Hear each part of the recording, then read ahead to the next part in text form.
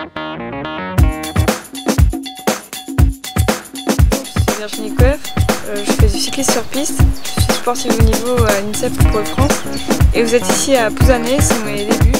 J'ai 23 ans, j'ai commencé à l'âge de 6 ans au but 10 000 en école de cyclisme et j'ai commencé à Pouzané euh, cyclisme sur piste à l'âge de 14 ans et au fil des années je me suis fait repérer au championnat de France et puis au championnat du monde.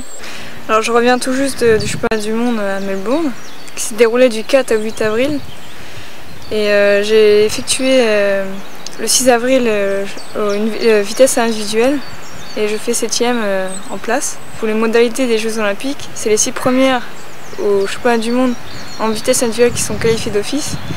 Et moi je fais 7 donc aujourd'hui ça va jouer entre les Françaises et avec les points effectués tout au long de, l'année. Actuellement j'attends si je suis qualifiée d'office pour les Jeux en tant que en vitesse individuelle.